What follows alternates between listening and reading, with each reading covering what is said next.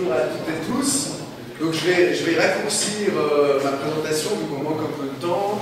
Euh, je voulais au début revenir un peu sur les avantages du livre et ce qui nous a motivés. Vous trouvez tout ça sur le site GE Livredu. Vous tapez GE Livredu hein, sur euh, votre moteur de recherche favori et vous tomberez dessus. Cyril en a aussi parlé. Donc hop, c'est fait. On a déjà gagné des minutes.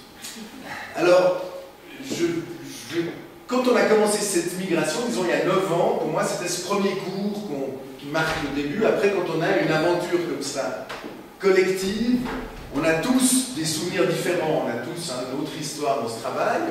En ce qui me concerne, c'était ce premier cours Linux qu'on avait organisé au niveau du CEM. Et à l'époque, les ordinateurs étaient de ce genre-là. Vous voyez, donc on a euh, ici un, type qui traite les bandes, c'était juste après, je crois. Et puis, qu'est-ce qu'on voit là-dessus, sur cette image que je mets avec un peu d'humour? La première, c'est que euh, euh, au niveau de la connectique, hein, cette première machine n'est pas connectée. On a ici euh, des, bandes dans lesquelles on stocke la mémoire. Et à l'époque, on n'était pas encore dans le Web 2. Ça veut dire qu'on était connecté sur le web, bien sûr, mais tout ce qui concernait ce qu'on appelle aujourd'hui le cloud, le fait de travailler sur son ordinateur et d'avoir ses données automatiquement en ligne, en permanence, n'existait pas. Et le deuxième aspect, c'est qu'on avait une interface un petit peu austère, une machine hein, qui tapait des points, etc. Euh, euh, ça, c'était le contexte quand on a commencé. Quand on a fini, on est arrivé à ça, c'est un peu l'époque euh, qu'on vit aujourd'hui.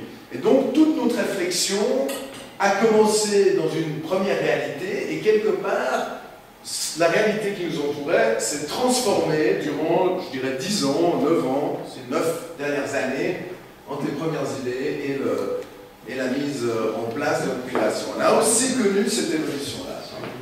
Quand on a commencé, ça c'était un téléphone portable, je rigole, on a dû commencer à peu près ici, ou ici. Mais disons, ce qui est vraiment important, c'est que celui-là n'existait pas. On était avec des trucs de ce genre-là, donc on n'avait pas de smartphone.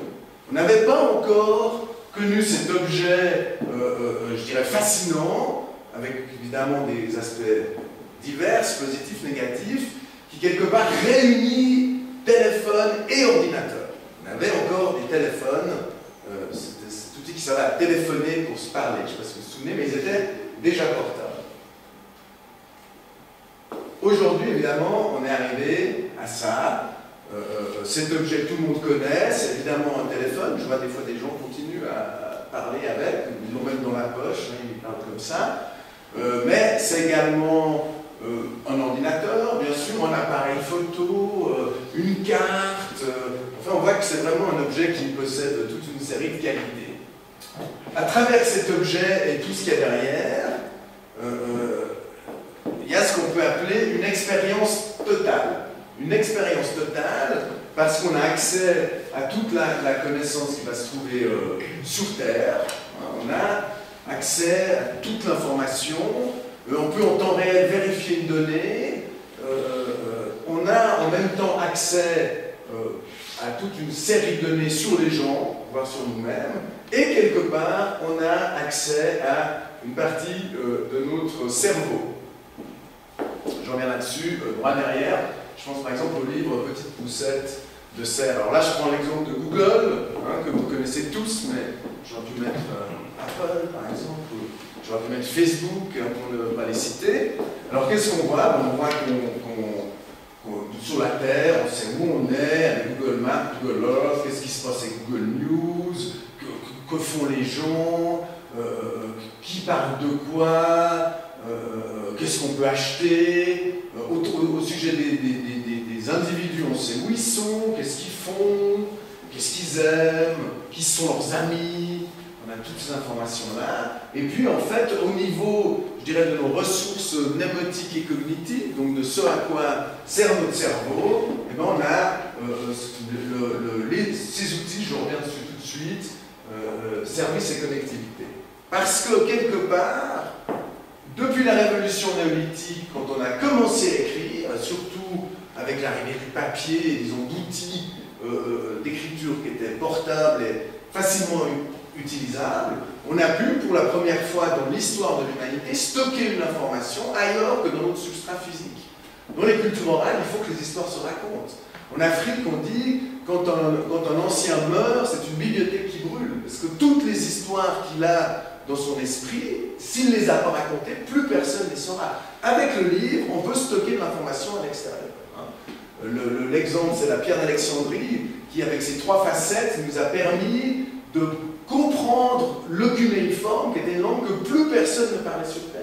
Mais comme elle était écrite, il y avait un texte, il y avait un autre texte en grec ancien qu'on parlait encore à l'époque, on a pu, euh, en faisant des croisons, etc., tout d'un coup réécrire, recomprendre une langue qu'on ne parlait plus. Donc l'information est stockée en dehors du substrat physique. Pareil, donc, si on prend ce petit appareil dont je parlais avant, pour la photo, euh, euh, pour le, son, la caméra. Donc quelque part, on a une capacité de mémoire qui hier était dans notre esprit et aujourd'hui se trouve dans cet objet. On peut revoir les photos qu'on a prises hier, on peut reprendre les notes qu'on a fait avant-hier, etc. On va au-dessus, au-delà du texte, c'est quelque chose d'assez nouveau qu'on connaissait déjà avec le texte, et là on fait vraiment un pas en plus, et ça s'est fait pendant euh, notre migration, si j'ose dire. Hein. C'est ces dernières années qu'on s'est tous retrouvés avec une caméra sur nous, un enregistreur, etc. Un autre aspect, c'est que ça nous a amené d'autres sens. Alors on avait déjà la montre hein, qui nous amenait un sens, sorte de super pouvoir, on pouvait savoir en tout temps l'heure qu'il était. Biologiquement, on n'a pas euh, cette capacité. L'outil montre nous, nous, a permis de l'avoir. La boussole, un truc extraordinaire, le téléphone. On voit qu'aujourd'hui, je pense qu'avec avec cette nouvelle technologie portable, sous toutes ses formes et toutes ses déclinaisons, on a toutes ces informations en permanence. On est entré dans ce qu'on appelle l'ubiquité, on peut être ici ou ailleurs. J'ai éteint mon téléphone portable pour pas entrer en communication immédiate avec quelqu'un qui serait de l'autre côté du monde. Et on est aussi dans l'acronie. Ça veut dire qu'on a accès à tout moment à l'information. Hier, je me posais une question, je me disais, tiens, qui a écrit ce livre? Il fallait que je retourne dans la bibliothèque pour retrouver le livre et avoir la réponse, je pouvais l'avoir.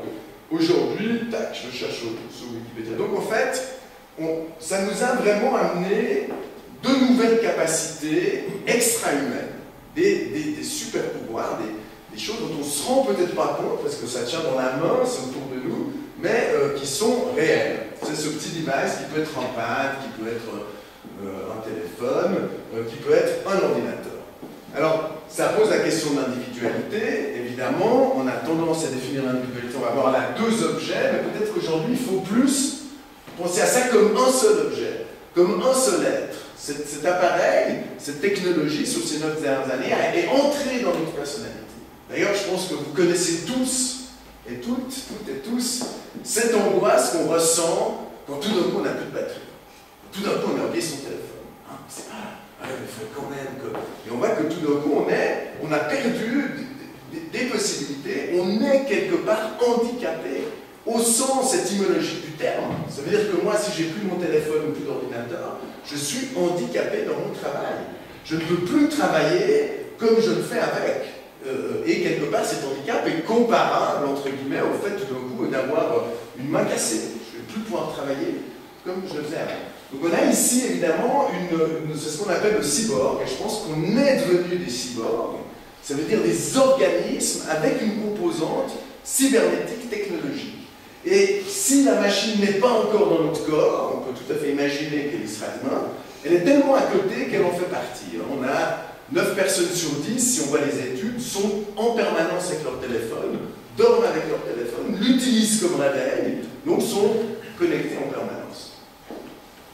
Alors, c'est un petit détail, mais ça pose du coup, c'est le seul aspect sur lequel je reviendrai des valeurs ajoutées du livre, Évidemment, c'est celle-là, parce qu'on voit tous nos amis en haut, euh, par exemple Gmail, Facebook, Yahoo, Google, etc., euh, euh, qui ont donné, dans le cadre de, ce projet PRISM, hein, dont vous avez entendu parler, un projet américain, pardon, un projet américain de, la NSA qui visait en fait, à la surveillance du monde, et quelque part, ces données ont transité de ces entreprises privées au gouvernement américain, mais ces données, si ce que je dis avant, euh, vous le partagez, sont des données qui participent de l'individu, qui sont des données qui font partie de notre intimité, de, à qui je téléphone, qu'est-ce que je fais, etc.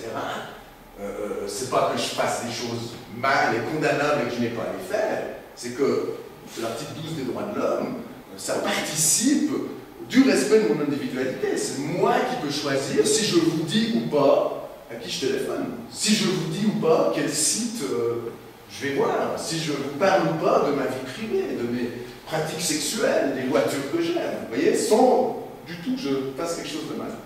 Ça, c'est un petit clin d'œil. Voilà. Donc, je pense que c'est une des valeurs ajoutées du livre que je voulais souligner et qui, à mon avis, sont entrées dans la citoyenneté parce que, évidemment, dans notre éducation, on éduque à toute une série d'apprentissages, mais on éduque aussi à une société, à une culture, qui est une société, une culture démocratique, une école ouverte, un citoyen responsable, autonome.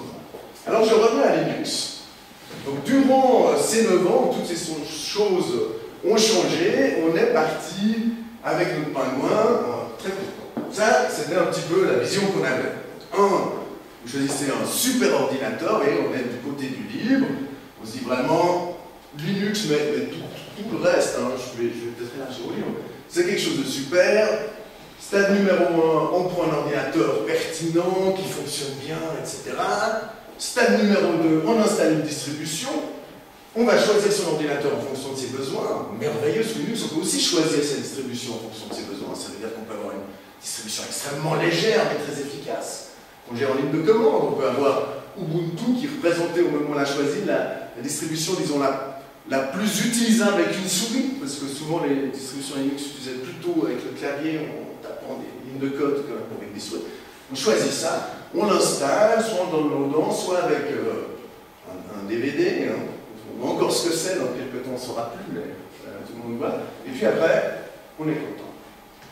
Mais en fait, la vérité, c'est plutôt ça.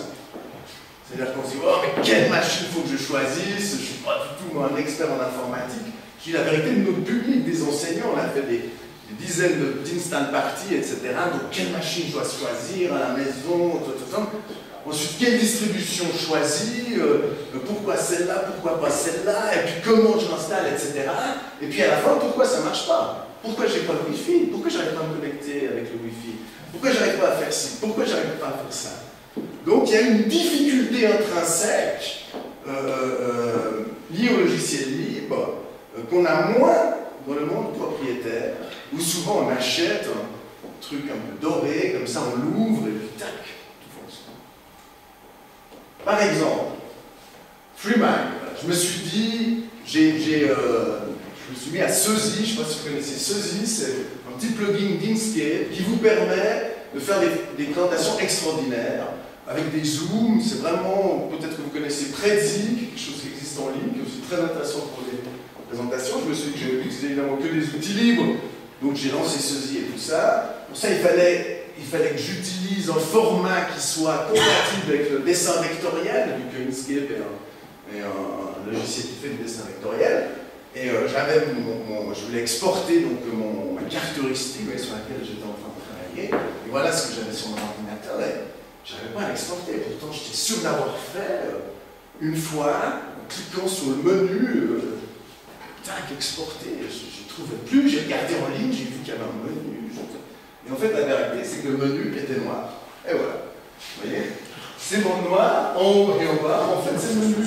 Il suffit d'aller dessus avec la souris et vous voyez éditer, et puis évidemment éditer, euh, tac, exporter. Enfin, on a ce qu'on veut. Alors, le, problème auquel on est souvent confronté, qui est quelque part lié à l'ergonomie, mais qui est aussi bloquant. Alors évidemment, on peut le savoir, on peut le dire euh, l'ensemble des enseignants, on peut nous-mêmes essayer de s'en souvenir, et puis savoir qu'en fait, quand il y a une bande noire, il faut cliquer deux fois dessus, et puis en transparence, on voit qu'il y a un menu, et euh, on peut travailler avec. Et je pense que c'est ça le, cœur du travail qu'on a fait autour du livre. Et je pense que c'est ça à quoi il faut s'attacher si on veut partir dans un projet. Ça veut dire qu'il faut reprendre cette expérience totale dont je vous parlais avant, que va avoir un utilisateur euh, de Google, d'Apple, etc. Il va acheter une machine, cette machine va être connectée sur ce qu'on appelle le cloud, ces données seront sauvées en ligne quelque part, il ne saura même pas où, il pourra les rapatrier avec sa deuxième machine qu'il aura dans sa poche, sa troisième machine qu'il aura là-bas, etc. Pareil avec Google, pareil avec. Et le déficit qu'on a dans le libre, c'est justement cette absence d'interconnexion. Vous pouvez faire votre cloud libre, c'est très simple. Vous allez sur GitHub, vous cherchez une des logiques de cloud, vous downloadez cette, cette logique, vous l'installez, vous montez le serveur, vous l'hébergez, vous le lancez, et puis vous avez votre cloud libre. En fait, il suffit de demander à tous vos amis de faire pareil, et puis plus personne n'ira sur Google, sur Apple. Je pense que c'est là qu'on a la limite. Alors, quelque part, notre travail a consisté à faire ça. C'est-à-dire que quand on parle du logiciel libre, on ne s'est pas du tout arrêté à Ubuntu ou aux logiciels qui sont posés sur la machine individuelle, sur la machine qui est dans la classe. On en a profité pour revoir l'ergonomie. Céline en a parlé avant, le temps passe, je ne vais pas trop insister, mais ce qu'il faut voir, c'est qu'on a trois sessions. Une session pour l'enseignant où il y a pas mal de choses et où il peut rajouter ce qu'il veut, c'est le prof, il a besoin de ses outils, c'est malléable, les enseignants qui se la prendraient en main n'auraient pas forcément la même après une année, chacun peut la transformer. Une session pour les élèves du cycle 2 et une session pour les élèves du cycle 1. C'est-à-dire que l'ergonomie de la machine va changer suivant l'âge des élèves. Et ça aussi, c'est une vraie valeur ajoutée, parce que les petits élèves, c'est des questions de tactilité, c'est des questions de taille d'icône, c'est des questions de nombre de programmes, etc. Et d'avoir des choses qui soient adaptées à leur, euh, niveau d'apprentissage. Inutile d'avoir des choses inutiles. Je veux dire, un élève qui apprend à compter, ça ne sert à rien qu'il ait tout d'un coup dans sa configuration un programme qui permet euh, de faire des divisions, des multiplications, euh, voire des asymptotes. Parallèlement à ça, on a notre cloud, très, très modeste, sous forme d'une communauté en ligne qui s'appelle Petit Bazar, à laquelle la machine est automatiquement connectée. Du moins en théorie, parce qu'en pratique, on a eu toute une série de problèmes avec des proxys qui faisaient que chaque fois que la machine démarrait, on enlevait les préférences de Firefox et du coup, les enseignants devaient une fois par rentrer leur code. Mais là, ça a l'air de mieux fonctionner. Je dirais que c'est ça qui est clé. C'est qu'en fait, depuis la machine, on a une icône Petit Bazar, on clique et on est dans la communauté. Et on est dans la communauté sans avoir à se loguer, Peut-être que je vous la montre très rapidement en 30 secondes après si ça vous intéresse. Et cette communauté, comme la machine, a trois niveaux. Le prof, plein de choses pour le prof, avec des explications pédagogiques, comment utiliser, mettre en scène, quelle orchestration, etc., autour de la ressource qui est proposée. Une vision pour les élèves du cycle 2. Alors on voit par exemple là, c'est un, puzzle des multiplications. vous voyez, vous mettez la bonne réponse sur la case et euh, ça vous fait une image qui apparaît petit à petit on voit que les élèves, savent déjà faire une fois deux ou 8 fois 2. Et, on voit que l'interface est extrêmement simple. Hein. on a juste, euh, voilà, avec, aussi tous des logos qui sont euh, adaptés, aux enfants. Et la vision pour les tout petits, avec un jeu qui est adapté aux tout petits, où là c'est simple et il doit compter les 5 endroits où il y a, 5, euh, petites pastilles et donc poser le, le résultat dessus. Donc, c'est vraiment cette vision globale qui devrait nous permettre euh, euh, euh, d'enseigner dans les classes. Et je vais vous montrer, si j'y arrive, hop, encore une courte vidéo qui illustre un petit peu ce qu'on essaie de faire. Alors, voilà, c'est très mal tourné, c'est moi qui ai tourné avec mon téléphone portable. C'est dans une classe du primaire, je ne sais pas si on voit bien ce qui se passe, mais si vous voulez, vous avez un ordinateur, là vous le voyez, vous avez des petites fiches voyez, qui sont sous l'ordinateur, et les enfants écrivent, ils apprennent à écrire. Alors ce, dont on s'est rendu compte, c'est qu'au bout du compte, l'écriture cursive, vous voyez maman, c'est pas facile, c'est un tâche complexe, j'entre dans le détail. La prof, la prof c'est sur une prof dans le primaire, peut montrer l'exercice, mais ne le montre pas qu'une fois. Et après, aux enfants de le faire. Donc là, par l'ordinateur, on a amené une aide à l'enfant, parce que vous allez le voir, on a des petites vidéos qui tournent et ces vidéos montrent comment, euh, comment écrire, quel chemin doit suivre le, stylo pour, pour, une écriture euh, correcte. Vous voyez, on voit là, donc c'est maman, ça va partir, et puis on va voir maman s'écrire. Donc ça, ça permet, une première chose, c'est que ça permet, disons, aux enfants d'avoir, de pouvoir répéter à leur rythme ces exercices de, quelque part. Vous voyez, on le voit là, voilà, donc ça c'est la façon correcte d'écrire. Mais il y a ces petites ces petites fiches, elles ont un tag, c'est ce qu'on appelle un, QR code, vous voyez. Et là, comme on est 100% dans le libre, on a pu développer une application qui se trouve en ligne et qui fait que, vous voyez, l'enfant a choisi, il a choisi lui-même, il y a plusieurs mots, il a choisi, il est donc autonome, une de ces fiches Cette fiche est posée à cet endroit-là. Pourquoi? Parce qu'il y a une webcam qu'on ne voit pas, vu la qualité de l'image, qui, qui est, collée, en fait, qui est scratchée derrière l'écran. Donc la webcam filme. Et vous voyez, tac Le fait de mettre ce code sous la webcam change la source. Donc ça permet de contrôler l'ordinateur avec du papier. L'élève prend une fiche de papier, la pose à côté de l'ordinateur, et la ressource qui correspond à cette fiche est automatiquement lancée et on voit qu'on est passé de maman à maison. Donc du coup, les élèves ont décidé à ce moment-là de, faire maison plutôt que maman, de façon autonome, etc., pour des élèves qui sont non lecteurs. Alors évidemment, l'utilisation d'un ordinateur, le fait de passer d'une ressource à l'autre, d'un site à l'autre, donc on ne sait pas lire ni écrire, moi-même, qui me débrouille à peu près en lecture et en écriture, j'arrive jamais à taper une URL, parce que c'est toujours slash 2, 3, 4, slash 8, 1, slash PQRT. Je fais tout le temps une erreur, il faut 2-3 essais pour y parvenir. Pour les enfants, ce serait inaccessible. Donc, ce que je pense, c'est que la valeur ajoutée, quelque part, le travail à faire autour du livre, c'est ça. C'est de recréer cet univers cohérent entre la machine, ce qu'il y a en ligne, donc on pourrait appeler le cloud, mais aussi l'ergonomie, l'expérience de l'élève, l'expérience de l'utilisateur. Dans notre cas, l'utilisateur, c'est l'élève, et donc de, créer une sorte de tout cohérent qui permette à l'élève d'avoir cette expérience que j'appelle un peu expérience totale, qui serait l'équivalent de ce qu'on a nous avec nos machines, etc. C'est-à-dire d'avoir un contrôle intuitif, facile, etc. de l'ordinateur pour accès aux sources, pour pouvoir progresser euh, dans son apprentissage. Et en titre de conclusion, on voit que ça nous permet deux grandes choses qui, on espère, vont pouvoir euh, se, répandre, en tout cas, on commencera probablement par les petites classes, c'est justement d'amener un peu cette logique de tutorat, ça veut dire qu'on n'a plus un enseignant qui explique une fois et tout le monde fait l'exercice et ceux qui n'ont pas compris, ils n'ont pas compris, puis ceux qui ont compris, puis qui, sont déjà à l'aise, mais ils doivent continuer à faire l'exercice. On voit que L'explication peut être répétée, elle peut être répétée même s'il s'agit d'un geste, c'est quand même assez... Euh, on fait en plus grand, les élèves font comme ça sur l'ordinateur, ils font ça sur l'écran, on met une petite feuille transparente. Et puis la deuxième, c'est évidemment une pédagogie différenciée qui permet, avec une série d'exercices adéquats, de faire travailler tel élève euh, sur la numération, parce que c'est là-dessus qu'il a un, déficit, et puis tel autre élève sur l'écriture, par exemple. Hein. Donc ça permet vraiment euh, ces possibilités. Alors voilà en gros euh, la vision que je voulais euh, présenter. Je ne sais pas si vous avez des questions euh, ou remarques. Moi j'aurais juste une petite question, je reviens un petit peu en arrière. Maintenant que le déploiement s'est fait à l'école primaire d'Ubuntu, est-ce que vous avez mené une enquête de satisfaction auprès du corps enseignant? Quel est l'avis du corps enseignant maintenant que ce système fonctionne?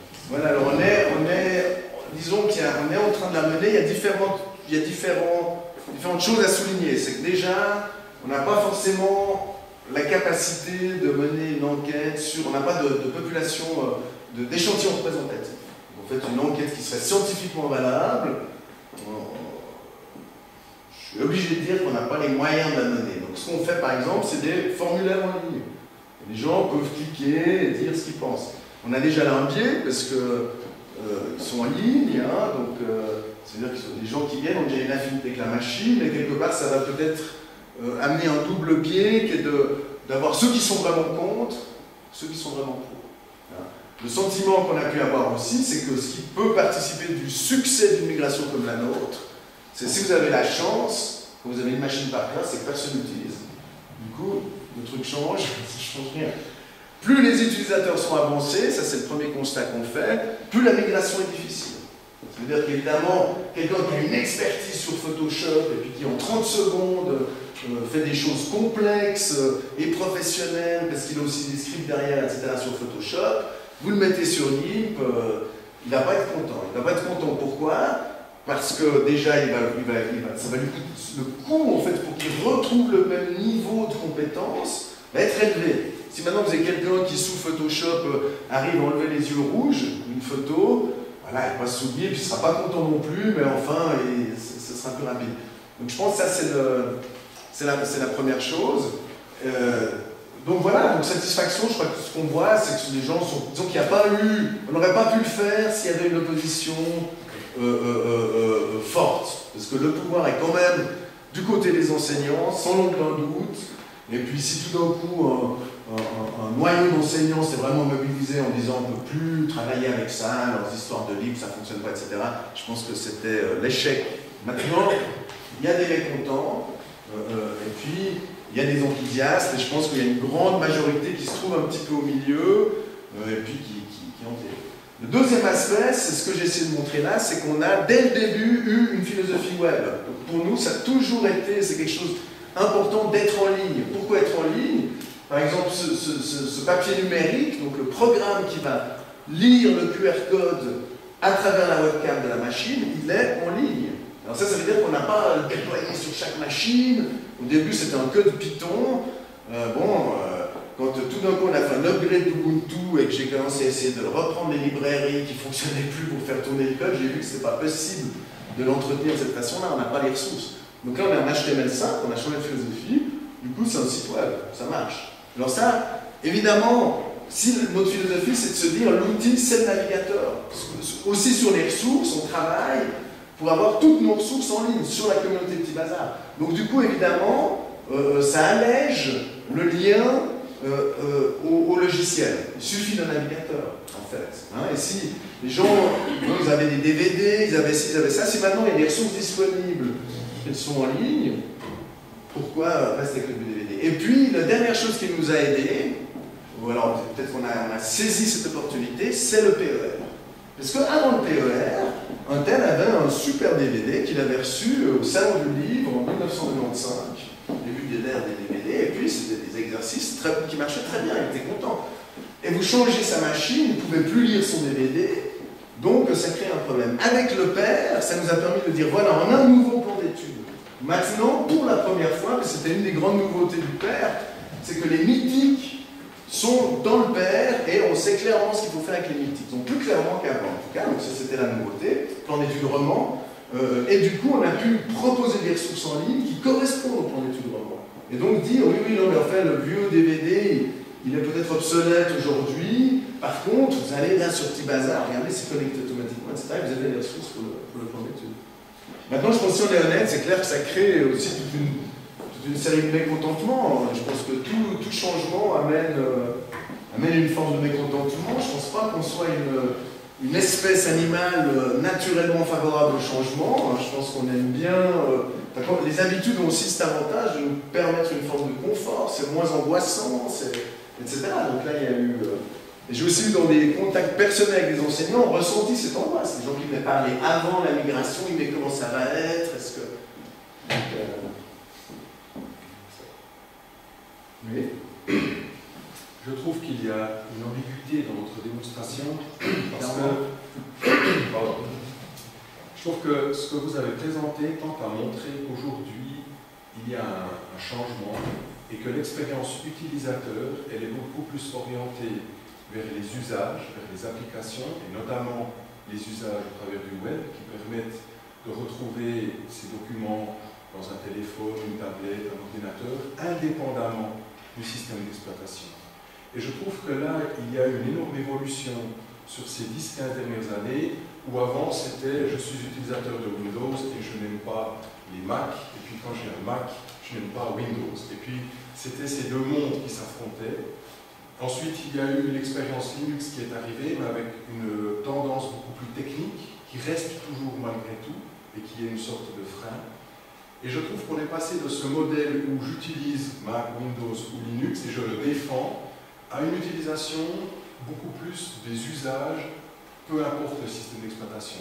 Et maintenant, il y a iOS, Android qui viennent en plus et qui font que, euh, quelque part, on, ne se focalise plus sur le système d'exploitation, mais beaucoup plus sur des usages qui doivent être simples et utilisés. Je trouve que votre démonstration montre bien ça. C'est-à-dire qu'on doit pouvoir utiliser son téléphone, on doit retrouver des mêmes choses au travers de son téléphone comme de son ordinateur, et surtout au travers du web. Et je trouve que le système, il s'efface, il a tendance à s'effacer beaucoup plus au profit de l'usage qu'on fait de l'outil. Et c'est pour ça que je me demande aujourd'hui, je suis convaincu par le livre, j'utilise Linux à la maison, mais je me demande aujourd'hui si, où est l'importance, où est-ce qu'il faut vraiment mettre de l'énergie, si c'est vraiment au travers de l'usage des logiciels ou effectivement aussi du système d'exploitation et pourquoi Et aujourd'hui, je n'ai toujours pas la réponse à cette question. Alors, c'est particulièrement pertinent, donc je ne pense pas que j'ai de réponse non plus, mais peut-être une, vision euh, complémentaire, mais pas tout à fait congruente. Donc, je tout à fait d'accord avec cette évolution vers les usages. je pense aussi que dans notre partie, donc pour tout le monde, même dans notre partie pédagogique, le cœur c'est l'usage. L'OS, en fait, et l'intérêt, c'est comment les élèves apprennent, etc. Maintenant, je pense qu'il y a un lien secret ou, visible entre l'usage et l'OS, et que c'est dans cette philosophie qu'évoluent euh, les marchands. Par exemple, Mac, c'est très simple si on reste sur. Donc on est dans le cloud de Mac, on a son iPhone, etc. Mais dès que vous avez un téléphone Android, un Macintosh à la maison, ça devient beaucoup plus compliqué de synchroniser automatiquement, euh, de, profiter de cette expérience totale. Hein. Si vous avez un téléphone Mac, vous perdez votre téléphone Mac, vous en prenez un autre, vous faites une synchro, vous avez tout revient, la config de votre téléphone revient sur un autre téléphone, vous avez vos contacts, vos, voilà. Donc déjà, Pareil avec Google. Hein. Si vous êtes Google, vous avez le Google Phone, le Google Drive, le Google Plus, le Google Book, et puis tout marche comme ça. Et vos contacts sont sur Google, et, ça marche très bien. Maintenant, si vous entrez comme Mike dans ce monde Google, ça marche très bien. Donc il y a déjà pour moi une sorte de, collusion dans cette expérience totale au niveau, au niveau des marques, du propriétaire, je des logiciels propriétaires, qui font qu'il n'y a pas une grande compatibilité. Et le deuxième souci avec ça, lié d'ailleurs à la loi fédérale, c'est qu'on a vu que du coup la, sécurité des données, etc., dans ce monde qui marche très bien justement, n'est pas garantie. Alors c'est peut-être là où ce lien secret entre l'OS et le cloud, mais à mon sens bien réel, euh, euh, pose problème. Et c'est peut-être là l'avantage d'avoir en fait du libre, donc par exemple de l'Ubuntu euh, dans la classe, et de l'Ubuntu en ligne, ou que nous, du Drupal, du WordPress, ou du Concrete 5, qui à mon avis est le, CMS de l'avenir, voilà, mais qui sont des, outils libres. Donc je verrai un lien, mais en même temps, je pense que c'est vrai qu'aujourd'hui, ça pose pas de problème, et aujourd'hui, si il fallait mettre l'accent quelque part pour le livre, je le mettrais sur le, côté web. Parce qu'en fait, le, terminal, l'ordinateur personnel, c'est ce qui est le plus cher. C'est là où vous allez avoir tous les problèmes avec tous vos usagers pour 100 000 raisons. Et, tandis que si vous faites vos sites, si vous développez un peu du cloud, comme vous le suggérez, en libre, voilà, on peut y aller depuis des Mac, des PC, etc. Et on est dans une position qui permet demain de ne pas être prisonnier de Mac, parce que même si vous êtes prisonnier de Google, donc, euh, donc, en effet, je pense que ce serait pour moi la, chose aujourd'hui la plus intelligente à faire en termes de ressources, résultats. Et puis par contre, je vois quand même un, lien, peut-être à tort, entre l'OS et, le, et le cloud. Hein. Pour le dire très simplement, j'ai l'impression que les OS ferment le web. Vous voyez, si vous êtes sur Mac, vous êtes dans un bout du web qui est le, web Mac, un peu fermé, vous, êtes, vous dépendez de ces applications, pareil avec Google, pareil avec Interessante Diskussion. Ich denke, es wird während der Mittagszeit noch Zeit bleiben, das weiterzuführen. Ich erlaube mir zugunsten der Mittagszeit hier zu unterbrechen. Ähm, auch Ihnen ganz herzlichen Dank, Herr Robertson, zum Teil für die fast philosophischen Ansätze, wenn man sich das so anhört, wie, wie ähm, mit den Daten in der Cloud und so, alles in Gewaltladung, muss man sich schon die eine oder andere Frage stellen. Auch Ihnen herzlichen Dank und ein Modest Okay, danke.